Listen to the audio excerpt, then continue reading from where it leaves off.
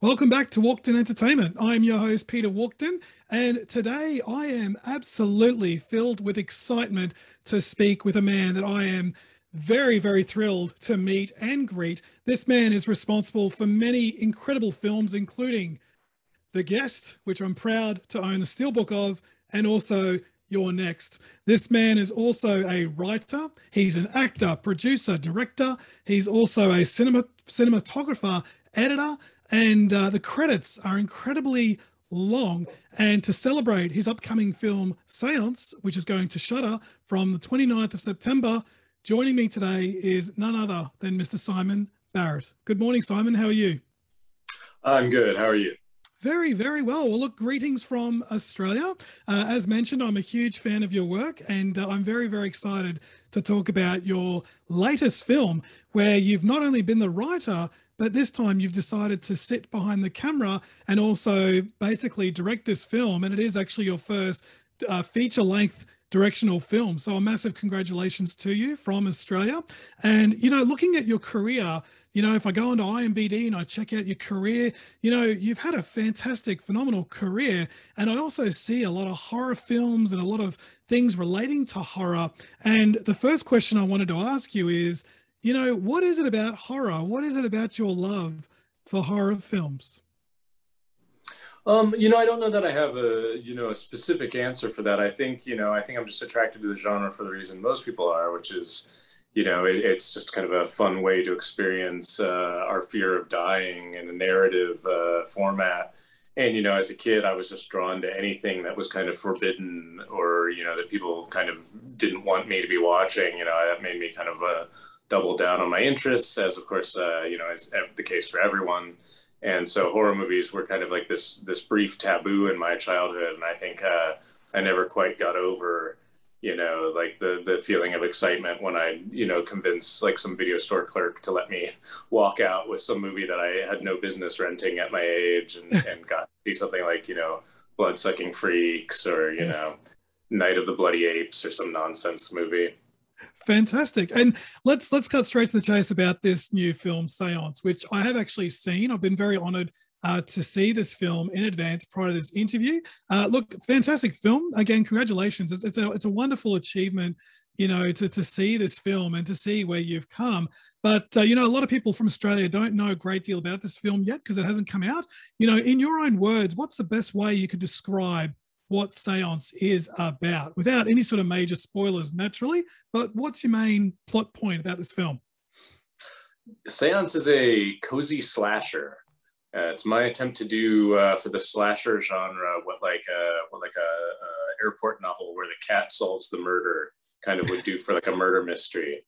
Yeah. Um, I love I love slasher movies because I love the structure of them. I love the kind of inherent uh, mystery, but within kind of a, you know, usually a gothic horror atmosphere sometimes, uh, certainly in the case of a lot of the early 80s ones.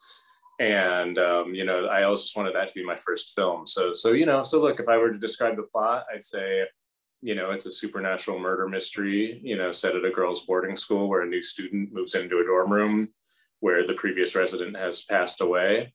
Mm-hmm. Uh, she thinks her dorm room's haunted and starts trying to figure out what happened um, which is you know a fairly straightforward setup for one of these things. And, and to a certain extent, I would say that I think Seance is a fairly straightforward film because uh, I tend to enjoy slasher movies that just kind of follow that sort of arc. Uh, but hopefully, people are kind of surprised at least by the you know the style and tone of, of certain things. Well, I certainly was. I mean, going into this film, like I said, I didn't know a great deal about it, but I certainly found it a very pleasing joyride. And I won't reveal anything, but there's a lot of twists and reveals that are very pleasing throughout the film from the very very get-go. But how do you get an idea for a film like this? Did something ever trigger in your mind and you sort of thought oh that would be a great film did you ever experience something or hear about a story? What, what was the motivation behind this film? I'm afraid not. You know no. I, I, don't take i don't tend to take a lot of personal motivation from my stories. Um, you know i know everyone works differently but uh, I, I tend to kind of view my characters sometimes as like separate people who I'm kind of trying to figure out, you know, what their story or, or narrative should be. Um, you know, honestly, I, I, would say that the inspiration for Seance was mostly derived from other fiction. Um, I don't know if that's you know exciting, but that's that's the truth. Uh, you know, I, I, was mostly kind of looking at other films and other books and stuff uh, that you know that was stuff that I enjoyed and kind of trying to think of how to do a, a different spin on that sort of tale. Yeah, very, very cool. And as mentioned, you know, this film does have a lot of twists and, and mysteries right from the start. Did you always set out to make a film that would combine both horror and thriller mixed into one? Did you always plan to have a few good surprises along the way to keep the audiences engaged? Or was it something that you sort of thought while filming, hey, we could do this? Was it always set in stone that that's the way you wanted to make it? Yeah, I mean, without spoiling anything, Seance was interesting because I knew, you know, just, I mean, the title alone, obviously, yeah. I wanted to tell a, a ghost story. But um, ghost stories, like, kind of frustrate me sometimes as narratives because if I don't really understand what the rules are or, or what's at stake, which is kind of commonly uh, the case with like mainstream supernatural films. You know, for example, you know, if a poltergeist can fling, you know, uh, you know, a picture at me, then I don't really understand why it can't just like stick its hand into my brain and do like this, and then I'm just dead if yeah. it doesn't want me to be in its house. You know, so so like I don't really understand the rules of ghosts a lot. So I knew I wanted to do a ghost story, but I also kind of felt like the rules of what a ghost can and can't do should be clear. And the extent to which a ghost could harm someone living should be kind of like almost what's being debated throughout the film. You know, that should yeah. almost be the mystery that the characters are trying to uncover. And the reason for that is just that's my like personal philosophy towards ghost stories. So um, so yeah, so I kind of did always plan it to have horror and thriller elements because I knew the horror elements were not necessarily going to be what was driving the plot forward, if that makes sense. Perfectly. Yeah, it makes sense indeed. Yeah. Yeah, and there's definitely some good thrills that keep the viewers guessing all throughout the entire film, um, which was just tremendous to, to see. But it's a great combination. There's a great balance in this film. So I was very curious to know if that's how you always set it out uh, from the get go. And, uh, you know, what was it like working with lead actress? We've got Suki Waterhouse uh, as a lead actress in this film. So she's the character that obviously goes to this boarding school. She's taking over a dorm, as you mentioned, someone's passed away. What was it like working with her as a lead role of this film? Was she great to work with? Yeah, I mean, I don't have really any complaints about Suki. Um, she's pretty cool. You know, I mean, like she's she's probably a lot more i guess maybe like introspective and and just kind of strange than i expected maybe going in to meet with her yeah. you know from the very first like from our very first you know meeting you know i was just kind of like she she kind of had like an interesting series of reference points from the various from the very start for the character and i clearly thought about it quite deeply so you know from our very first meeting you know where i was kind of like you know I, I would like to cast this person yeah. Um, we got along really great you know she actually came up to the martial arts school that i train at here in los angeles and, and came in for a couple days and worked with me on some basic blocks and punches just so that you wow. know when it came to the fighting stuff she'd be able to jump right in and, and i'd be able to kind of choreograph her really quickly and you know that's not the kind of thing that i necessarily like um yeah, I, yeah, I don't know. I didn't like necessarily know if she'd be down for that. I mean, for one thing, you know, you're kind of asking someone to work before they've like officially been hired in some of those cases. So yeah. you want to be very respectful, uh, especially since I was a first time director. But you know, I, I, I felt like it would be if she was down for that. I kind of felt like it would be important for us to have a bit of you know uh, just a bit more communication, you know, a bit of a common language before we off went off to Winnipeg and did yeah. this very difficult shoot. So fortunately, she was down for that, and we were able to do a little training and kind of rehearsals just on our own uh, up at the school in North Hollywood, uh, you know, before we went off to Winnipeg. So so yeah, and then you know, and then from there on, I kind of felt like she really had just a, a solid take on the character that I would just kind of like let guide the scenes Brilliant. No, and again, she's fantastic in this film as well, and uh, definitely a good combination with you and her uh, within this film. But you know, you've already mentioned the the scene, for example, is actually set at a boarding school. You've also got a number of horror aspects, which I won't dive too much into. But you know, with this film containing a supernatural element, horror elements, and you've got a lot of characters in this film too. You know, were there any sort of major challenges, maybe even with locations, for example. Did you have any major challenges while making your first directional feature length film? Well, yeah, yeah, I did. yeah. Um, I could definitely uh, elaborate on that, uh, you know, pretty much as long as you wanted me to. You oh. mentioned locations. Um, yeah, locations were actually, I would say, in a way, the biggest challenge. Right. You know, once you once you've got them sorted out, you know, it, the, the schedule is what it is, and you're making things work the way you're making them work. But essentially, no schools would actually let us film in them. Wow. Um, because of you know because of the content of the film, yes. uh, which you know was not not at all honestly unreasonable. But I'll admit uh, it, it kind of took me a little by surprise. Um, Mm. you know but uh but you know there was no incentive for you know a, an actual private academy in winnipeg to, to let us shoot there uh, especially once they kind of understood what the content of the the movie was going to be um, yeah. you know they, they make more money from tuition than than we would have paid them you know for for you know four and a half weeks of shooting or whatever so uh so we kind of had to cobble together the school from a bunch of locations you know Wow. what looks you know what looks like the exterior is actually just a private residence uh, what looks like you know and then the interiors are a bunch of different buildings all over winnipeg uh, including like a bank building and we did some limited builds in a storage facility um, you know for things like the dorm you know we built like one dorm room that uh, my production designer marlena Thierry would like switch around to you know depending on whose room it was supposed to be you know we'd switch the window and the pipe and the walls and stuff so it would feel like a different room Right. but you know you're always seeing the same room in the movie um, you know so stuff like that honestly forced us to shoot in a certain order with certain limitations that made uh, you know a 22 day shoot with a huge kind of young cast uh, which was already kind of a daunting prospect um, very daunting because because you know then you're shooting everything out of sequence you have a lead character who has a very specific bruise progression oh, uh, as the yes. film goes on because she's taking damage yeah. over the course of the movie. And so Suki's look, you know, Suki, one of the first conversations I had with Suki was that I wanted her to get a black eye basically in the opening scene. So the rest of the movie, she kind of has a, a black eye and Mm. it just kind of sets her apart as, as, you know, kind of an underdog and an outcast a bit. Uh, but that black eye alone means you're paying way more attention to continuity than you would normally have to. And, and when you're shooting all over the place, um, yeah, it was quite challenging. And, you know, sometimes I would just kind of sit down with the cast and just be like, okay, remember the previous scene, you were in this place, you come directly and it. Like, right. and, and I mean, that sounds like silly, but we all kind of needed to just remind ourselves like, okay, that's right. This just happened.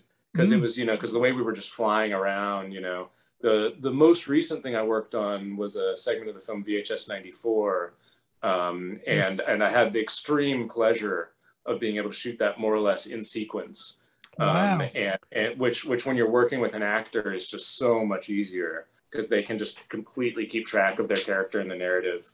Um, you know, whereas, you know, the seance was quite difficult sometimes, just the, the amount of time we had to shoot some of these scenes. The seance scenes in particular uh, were, were really awful to shoot. You know, just you just Oh. have seven people sitting around a table and Yeah.